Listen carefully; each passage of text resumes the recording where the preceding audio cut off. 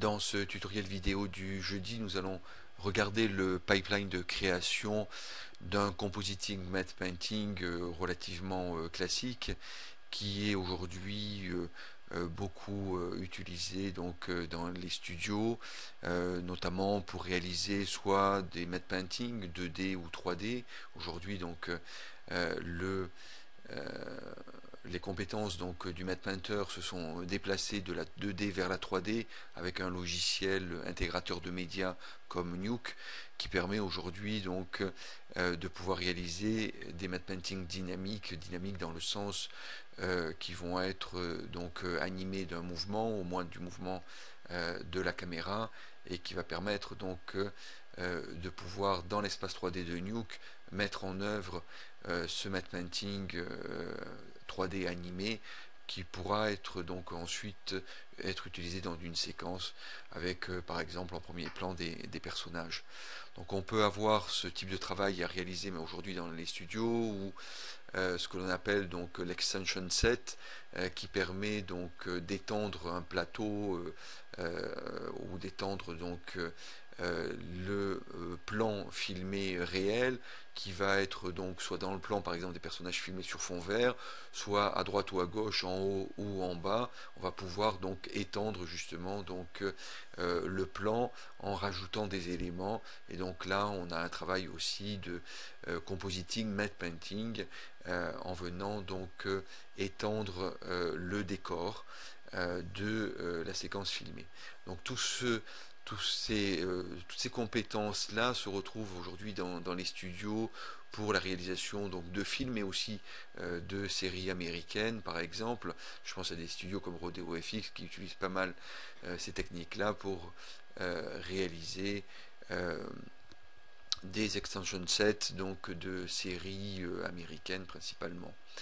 Donc ici on va, on va regarder un peu le, pipeline donc, de réalisation de ce de ce compositing matte painting ici. Donc on va regarder les éléments de départ euh, qui, euh, qui nous permettent donc de construire notre visuel. Donc d'abord il y a la séquence bien sûr filmée. Donc voilà ici donc la séquence filmée qui est une séquence donc avec un, un léger donc mouvement euh, de travelling donc sur euh, allant de droite à gauche qui va nous permettre avec des éléments relativement euh, simples que sont les colonnes ou les cylindriques ou cubiques ici nous permettre donc de venir traquer cette séquence là pour en récupérer donc les informations 3D que ce soit donc le mouvement de la caméra d'une part bien entendu qui filme et bien entendu donc euh, l'espace 3D, le repère de l'espace 3D avec l'ensemble des différents points pour euh, venir donc euh, calibrer cet espace 3D pour venir positionner ensuite à l'intérieur de l'espace 3D créé donc des éléments 3D qui viendront se rajouter. Donc ici, maintenant, si on regarde notre séquence, on voit que par rapport à notre séquence, on a rajouté donc un élément 3D qui est une statue euh, de Bouddha ici, euh, que l'on est venu donc euh, poser ici au milieu des ruines, comme on le voit dans, l'espace 3D, dans le viewer 2 qui représente l'espace 3D de la séquence ici. Si je tourne pour venir regarder ça de manière plus précise, on voit donc la reconstitution ici 3D euh, euh, de la scène 2D grâce donc au tracking 3D euh, et sur à tous les éléments qui vont être générés à partir de ce tracking 3D et qui vont nous permettre donc de reconstituer de différentes manières, comme on le voit dans euh, la formation de VFX Compositing, euh, de constituer de différentes manières euh, l'espace 3D de la scène 2D. Donc notamment ici, ce que l'on voit, c'est la reconstitution par modélisation polygonale qui a été faite donc sur un logiciel comme Maya et sur lequel on est venu faire donc de la projection de caméra, donc du caméra mapping, donc de la projection d'images sortant de la caméra directement, ce qui permet de reconstituer donc en ayant synchronisé donc l'image, de reconstituer un espace 3D nécessaire pour venir placer donc notre élément 3D ici notre statue Bouddha qui est une statue qui a été reconstituée donc à partir de photos. Donc à partir d'un ensemble de photos euh, réalisées sur une statuette, euh, ici, euh, on est venu donc reconstruire le mesh 3D et récupérer sa texture, c'est ça qui était aussi important, de telle manière de pouvoir la voir directement et pouvoir donc la retravailler éventuellement pour mieux l'intégrer donc dans le visuel 2D dans lequel on voulait euh, l'intégrer comme on le voit dans Nuke. Donc euh, cette technique-là est assez euh, connue de venir donc à partir d'une série d'images autour réalisées autour de notre objet réel pour le reconstituer donc en mèche 3D. Cette série de photos va permettre donc de reconstituer le mesh 3D.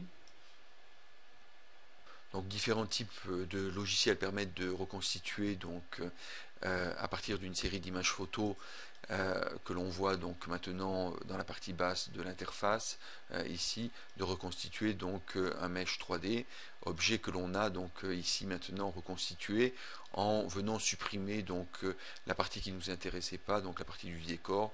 Bien entendu ensuite on pourra faire un travail dans un logiciel de 3D comme Maya pour venir vraiment user donc euh, les bords et ne garder que la statuette de telle manière de pouvoir mieux l'intégrer ensuite dans un logiciel euh, comme Nuke dans l'espace 3D. Donc ici l'intérêt c'est que l'on va pouvoir directement récupérer euh, la texture euh, le mesh et la texture et pouvoir éventuellement retravailler donc et le mesh et la texture dans un logiciel de 3D comme Maya ou dans un logiciel de Painting Tools comme Marie, c'est ce que l'on va faire donc maintenant pour venir mieux harmoniser donc la texture du Bouddha avec donc la, le décor dans lequel on va l'intégrer.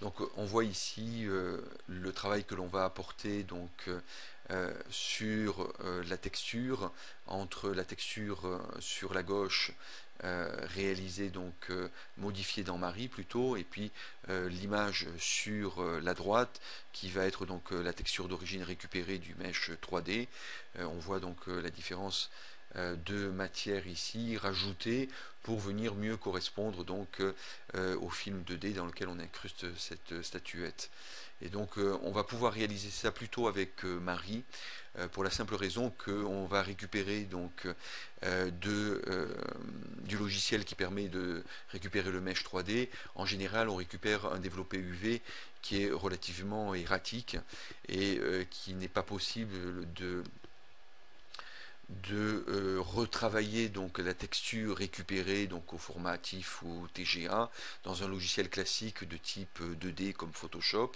car la texture est euh, complètement, donc euh, comme on va le voir euh, dans la suite du tutoriel, complètement explosée entre guillemets en termes de, projection. Donc un des seuls logiciels qui permet de le récupérer, c'est Marie, puisqu'on va travailler directement sur l'objet 3D. Et donc on ne va pas s'intéresser à savoir comment est disposé donc les différents patchs de texture sur l'ensemble donc de l'objet 3D, puisque dans tous les cas le développé UV est euh, correct dans le sens où il est raccord sur l'ensemble de euh, l'objet 3D et il suffira de venir peindre donc sur l'objet 3D pour continuer donc à rajouter de la matière sur euh, les textures déjà existantes de ce mesh là. Donc vraiment l'outil Marie est à ce moment-là très utile ou un autre outil bien sûr de 3D, c'est pas le, le, seul de Paint 3D, de Paint de texture 3D, c'est pas le seul mais c'est un qui est aujourd'hui d'abord pas mal utilisé par les studios de production et euh, qui permet de véritablement faire un travail euh, intéressant. Dans ce tutoriel vidéo, nous allons essayer de regarder comment on peut améliorer maintenant le visuel que l'on a réalisé, la mise en œuvre donc de la statue de Bouddha à l'intérieur donc d'un temple en ruine, d'un bâtiment en ruine ici. Et nous allons voir comment on peut éventuellement mieux intégrer donc visuellement cette statue dans le décor de, de ruine. Donc une première chose que l'on peut faire c'est venir un peu accorder donc les, textures euh, les matériaux que l'on a, donc euh, d'une part des ruines, des matériaux oxydés, sombres, euh, usés, tachetés, et puis donc une statue de, Bouddha relativement lisse en termes donc de, de texture et de visuellement donc de matériaux. Et on va essayer de voir comment on peut essayer au moins sur la base de mixer ces deux types de matériaux. Donc pour ça, on ne va pas faire ce travail-là dans euh, Nuke, mais on va le faire dans euh, Marie. Et donc, euh, on va revenir dans le logiciel Marie pour retravailler ça et revenir ensuite dans Nuke pour voir ce que ça donne et faire comme ça deux trois allers-retours pour voir l'adéquation donc entre maintenant ces deux visuels, la statue d'un côté et les ruines de l'autre. Donc euh, sur le logiciel Marie, bien, on retrouve notre projet. Si on n'a pas notre projet, on en créera, on recréera le projet. Mais euh, par rapport à ce que l'on avait fait au début donc, euh, de cette réalisation, eh bien, on avait utilisé Marie justement pour venir modifier la texture donc, du Bouddha sans avoir à développer les UV puisque Marie lisait directement donc, la texture sur l'objet 3D et permettait donc de peindre directement sur l'objet 3D, euh, permet euh, toujours donc de peindre sur un objet 3D, euh, sans se soucier de savoir comment est le dispositif des UV, ce qui est un grand avantage par rapport à un logiciel comme Photoshop, où si on retrouvait donc la texture 2D de notre Bouddha, elle serait relativement compliquée. Donc euh, la voilà ici dans Photoshop et on voit qu'on aurait beaucoup de mal à euh, venir donc euh, modifier une partie, un élément, sauf à apporter une modification vraiment générale sur la colorimétrie générale et la luminosité de, de la texture. On aurait quand même beaucoup de mal à savoir où, où il faut modifier tel ou tel élément si, visuel si on veut changer par exemple la base ou la tête ou le ventre du Bouddha. Donc euh, on a tout intérêt à avoir un logiciel donc, de Painting Tools de type euh, Tools 3D, de type Marie, pour venir faire euh, ce travail ici sans trop perdre de temps, en ayant besoin soit de comprendre comment le développé UV s'est fait, soit en ayant carrément besoin de refaire le développé UV. Ok. Donc là on a notre notre Bouddha ici et on va pouvoir donc euh, euh, venir euh, éventuellement rajouter de la matière un peu similaire à celle que l'on a donc sur le, les ruines. Alors pour ça, il y a une solution qui est assez simple, c'est de venir récupérer donc des images de ruines, donc des images que l'on va utiliser. Donc ici, on a donc l'ensemble des images de 0 à, euh, à la fin donc euh, de, la séquence en pointif. Et puis on va venir donc euh, sélectionner une ou deux images. Elles ont toute la même matière en définitive. Et on va faire un drag and drop et le déposer dans l'image manager. Donc on va le récupérer ici. Et on va pouvoir donc venir peindre en pass-through ici paint through l'image. C'est-à-dire peindre euh, à travers l'image euh, la matière, voilà, je fais ça euh, rapidement, pour venir donc structurer, donner une texture qui ressemble fortement à celle que l'on a bien sûr dans l'environnement.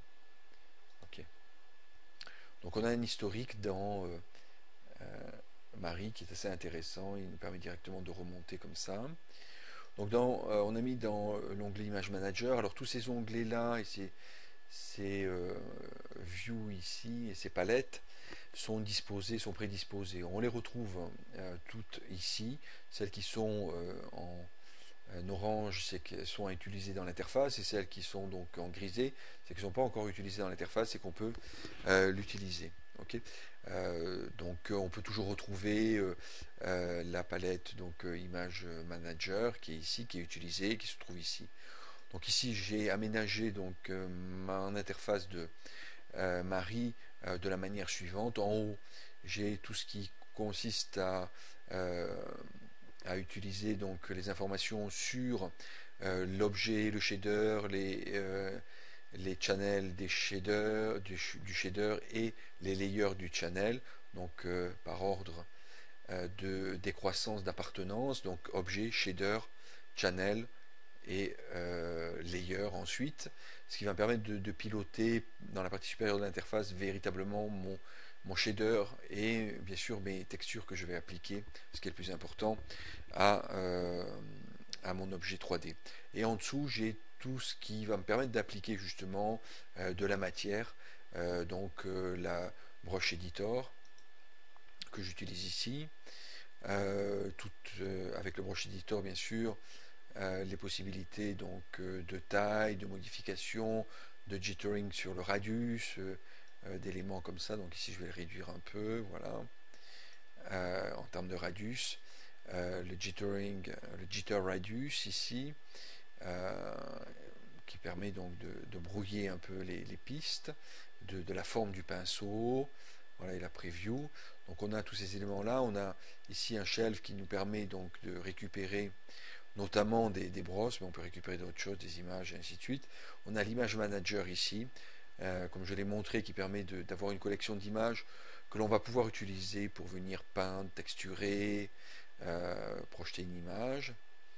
Euh, on a donc la projection ici, comment on va la mettre en œuvre, et notamment les possibilités donc dans projection sitting de masquer donc une partie de l'objet en 3D de la manière qu'on ne vienne pas peindre dessus. Donc on a vu dans les précédents tutoriels de euh, de Marie, qu'il était très intéressant d'avoir ce genre de fonction activée, notamment quand je clique ici sur les bords, ce qu'on appelle le Age Mask, euh, qui permet donc euh, à ce moment-là de pouvoir préserver les, bords et de ne pas avoir d'étirement de la texture que l'on peint et peindre au fur et à mesure les bords. Ça c'est assez intéressant. Puis après on a d'autres filtres, masques et autres que l'on peut mettre en place. On a toute une série ici à la base.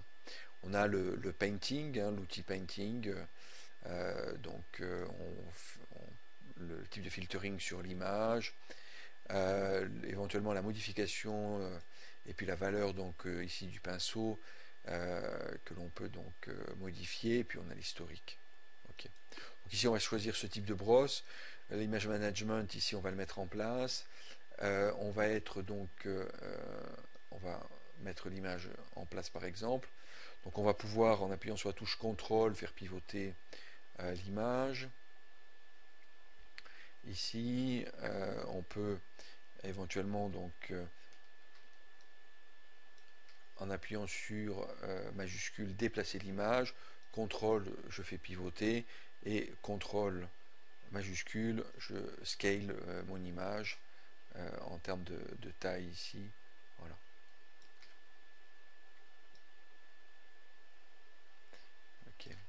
donc on va pouvoir peindre un peu de, matière, par exemple comme ça, euh, puis redéplacer ensuite, euh, par exemple, si on veut pas avoir certains effets, euh, venir redéplacer donc le, la, texture, enfin l'image qui sert de texture ici, venir repeindre un peu, et ainsi de suite. si on veut peindre un peu de, de, sombre, à la base on va utiliser un peu ce caillou là, voilà. Ok, ce qui peut être assez intéressant je me décale, je peins un peu ici, voilà. Ok, donc ça c'est assez euh, intéressant ici. Voilà. Ok.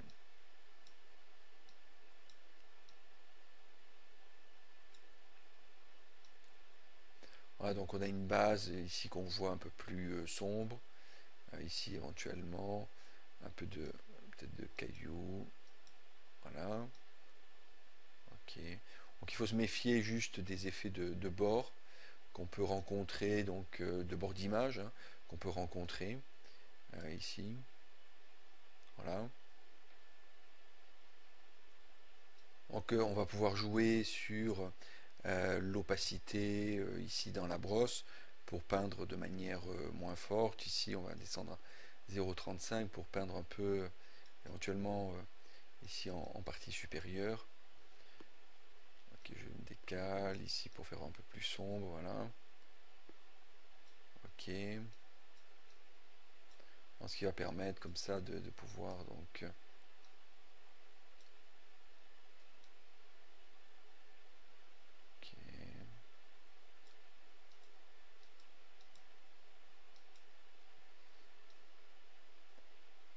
peindre Alors ce que l'on peut faire maintenant, donc euh, on peint sur un canvas, ça veut dire sur un, un, layer 2D. Hein. Si je bouge ici mon modèle 3D, la texture que j'ai peinte va glisser. Donc ça peut être intéressant pour déplacer légèrement euh, la texture éventuellement.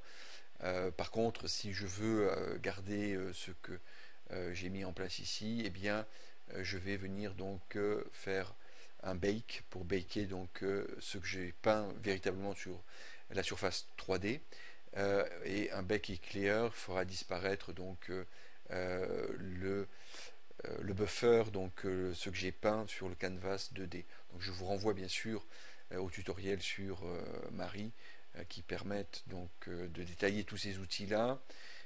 donc ici on va voir donc voilà. Maintenant si je tourne mon modèle, je vois ce que j'ai peint est conservé. On voit qu'on a des zones d'étirement, hein, d'où le Age Mask que j'ai pas mis en place ici euh, pour aller plus rapidement. Euh, parce que je vais venir repeindre ici, puis principalement dans la vue 3D de Nuke, on voit cette partie ici donc du Bouddha, c'est ce qui comptait donc ici à venir repeindre.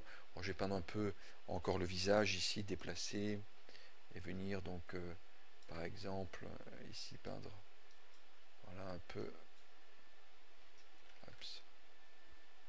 On va descendre encore l'opacité.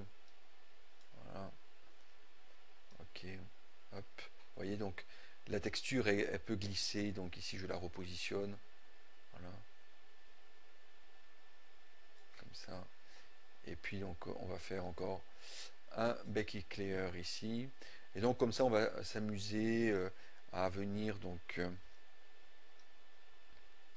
positionner. Alors on peut finir ici avec quelque chose par ici par exemple. Voilà, dans le creux ici. Ok.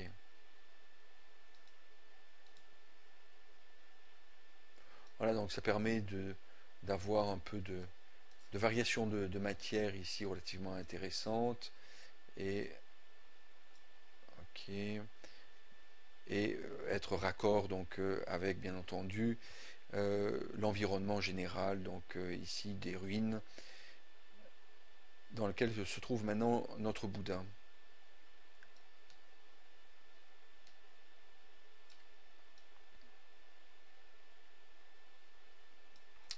Ok, quand on a terminé, on prend la flèche de sélection par exemple, ici un dernier baking clear, et puis donc on va exporter la texture puisque euh, le logiciel de Painting Tools Marie euh, travaille sur les textures, présente des shaders, mais euh, travaille donc sur les textures en import-export.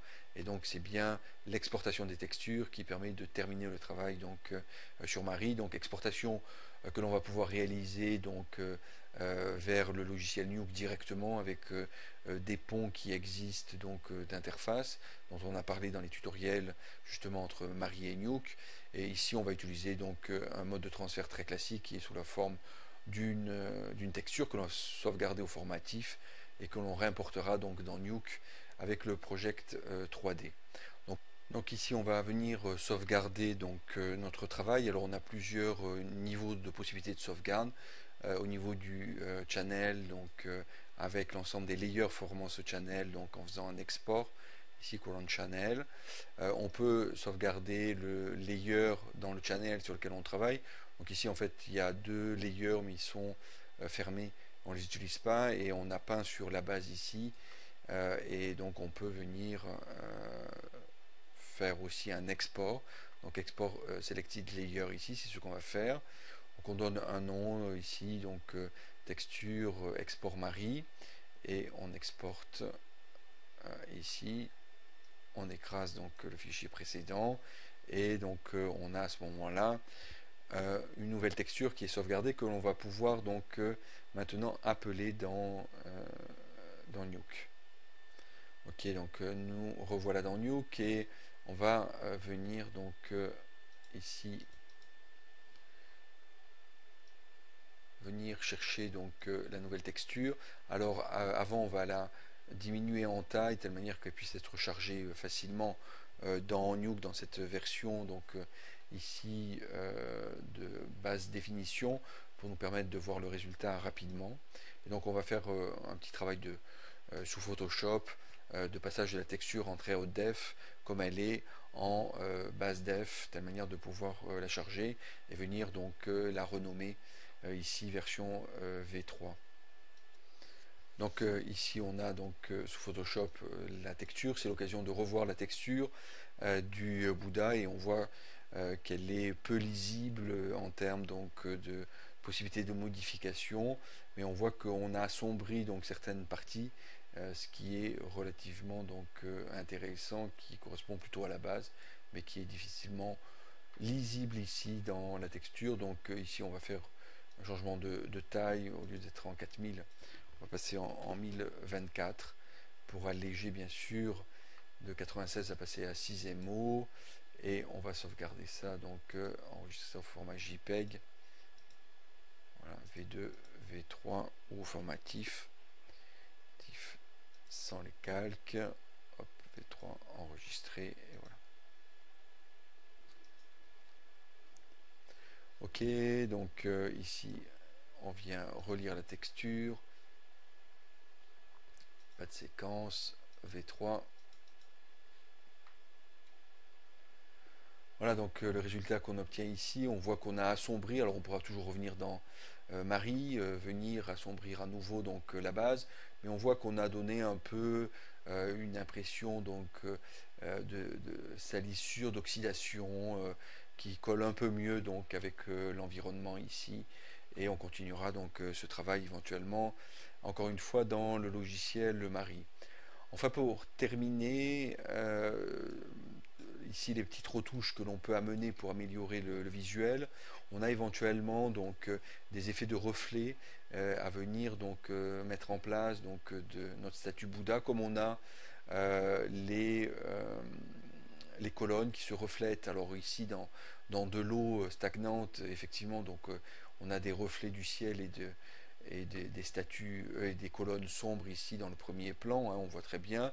Mais en règle générale, on pourrait avoir un peu de reflets ici en avant-plan et donc à ce moment-là, éventuellement venir donc peindre un peu devant la, statue de, de, Bouddha ici. Alors pour ça, eh bien, euh, on est venu, donc, euh, comme on l'avait montré dans le précédent tutoriel, avoir la possibilité de, pouvoir séparer donc, les différents éléments OBJ que l'on va importer donc, dans Nuke, les préparer dans Maya.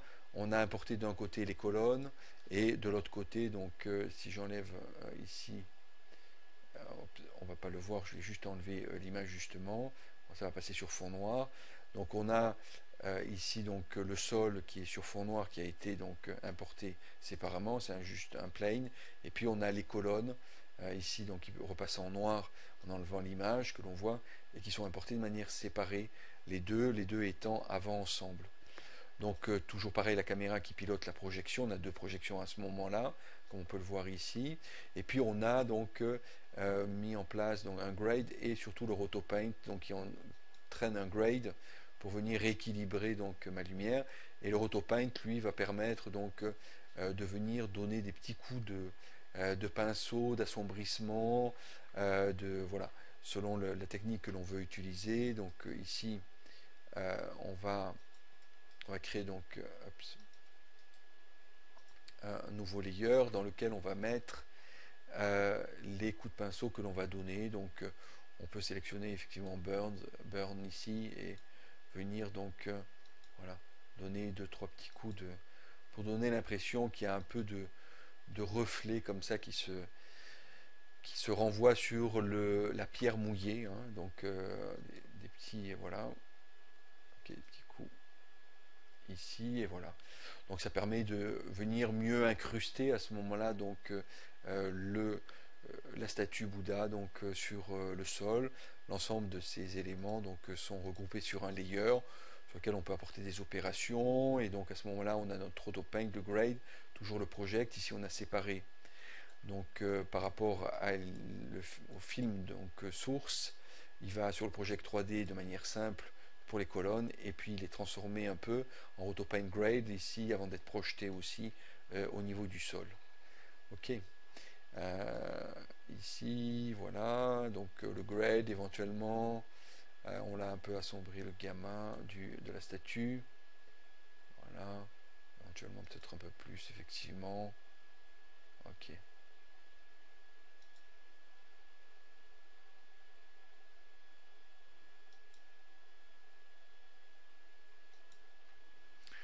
Donc euh, voilà un peu donc euh, la possibilité de pouvoir euh, au final améliorer notre rendu et de, pouvoir donc et travailler sur la texture de notre statue Bouddha et de travailler aussi donc sur la texture et sur le visuel donc des éléments 3D importés dans dans le compositing 3D, notamment ici au niveau du sol.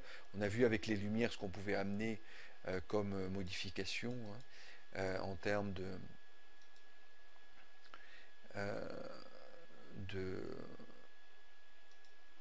d'intensité ici lumineuse, de, modification ici sur le voilà, si on veut réduire un peu l'intensité lumineuse, voilà.